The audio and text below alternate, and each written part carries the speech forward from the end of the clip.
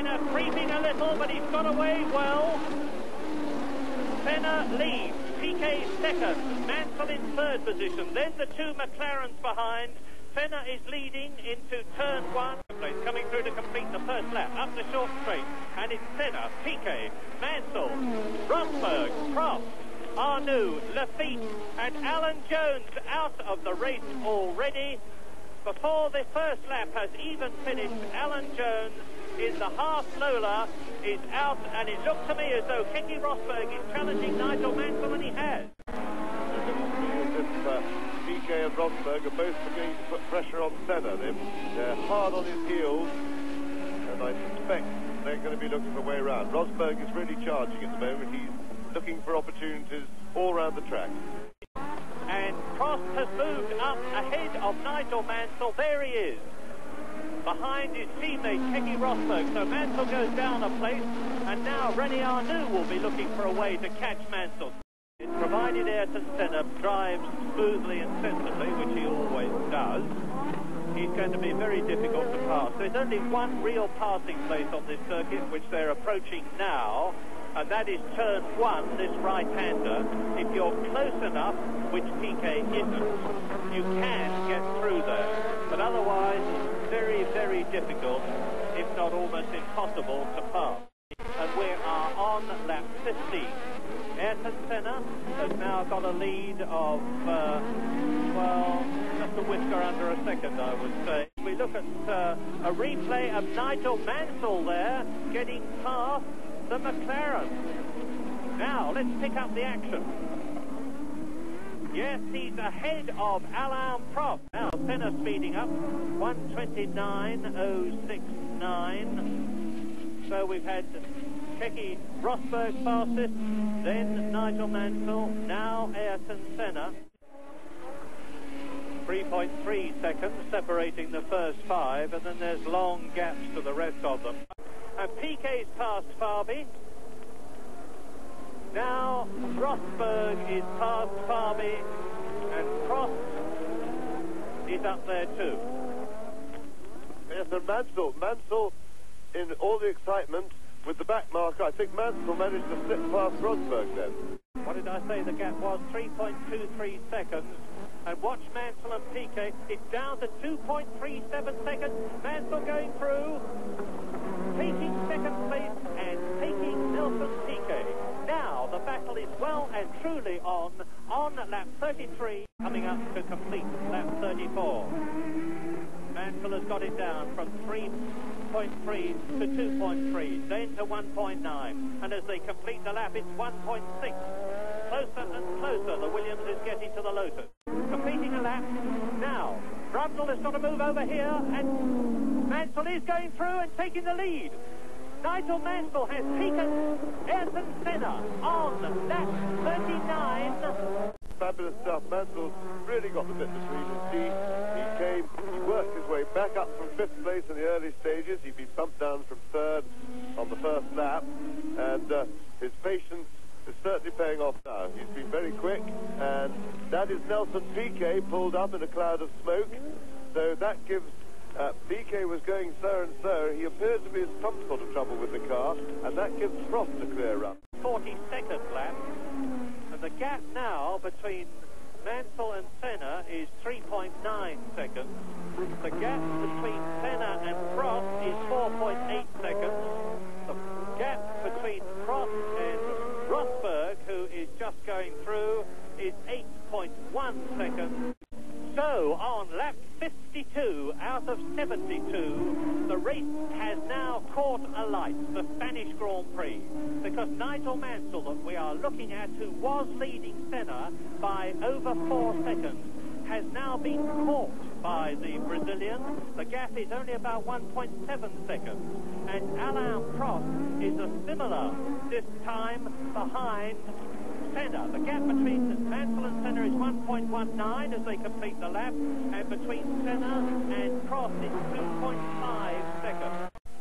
But this is where all the fun is happening, and Senna is virtually, they've concertinaed right back together again, the leading three, and within another lap or two, they're going to be nose to tail.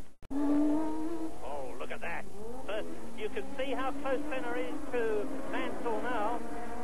But, but Nigel Mansell is not going to make it at all easy. Senna is now really harrying Nigel Mansell. Two of the most determined drivers in Grand Prix racing and Senna showing his front wheels to Mansell.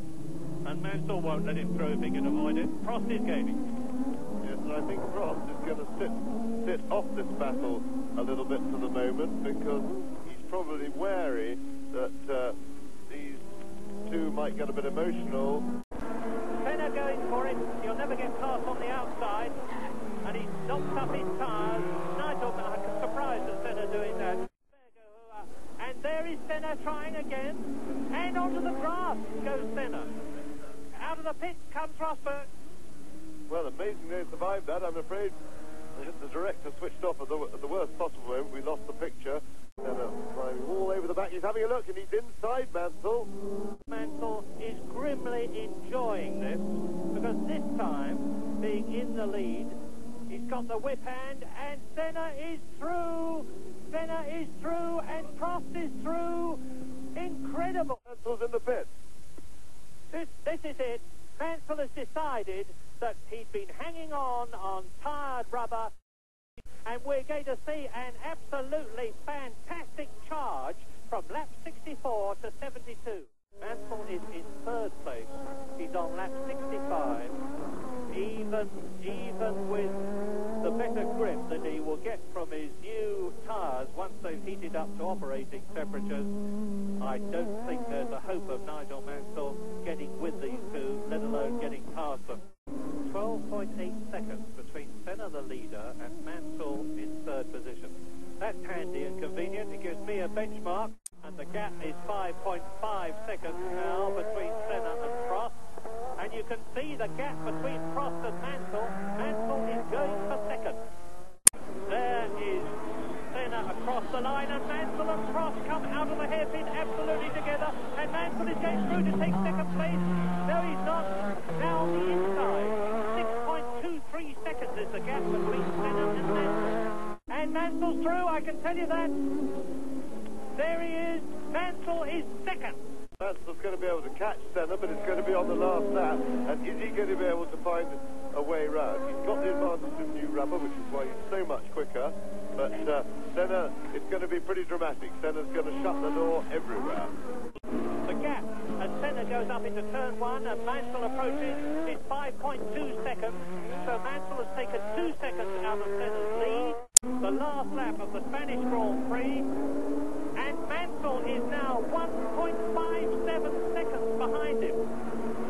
He's going to catch him soon, so there's going to be a right scramble all the way around the last lap. So into the last stages of the Spanish Grand Prix, they're coming down to the S's now, which is about halfway round the last lap. And very shortly, as Senna runs a bit wide and goes up onto the curbing, Mansell is going to be on the rear wing of the black and gold Lotus with its Renault engine, and he is. He is. Now, this is the 140 mile an hour turn 10 into turn 11 and Mansell could conceivably take Senna coming out of the hairpin on the final approach to the last straight of the Spanish Grand Prix. It's all going to depend on the exit from turns 14 and 15, which they're approaching now. Then into turn 16, the hairpin. It's going to be one of the closest Grand Prix finishes, whatever happens, that we've seen for a long, long time. They're coming up to the hairpin now. This is it. Down into second gear, and Mansell, if he gets it right, can sprint out of the rear wing of Senna's car. Senna moves across. He's keeping Mansell back, and he wins. Mansell won't like that any more than he likes at Brazil, but there is no doubt about the fact that Senna was taking advantage of the fact that he's got a clear circuit in front of him to keep Mansell back. And Ayrton Senna has won his third Grand Prix in the Lotus here at Spain today by what, a car's length or even less from Nigel Mansell. A brilliant drive by both of them. I think it was so close. I think they should give us they should give us seven and a half points each.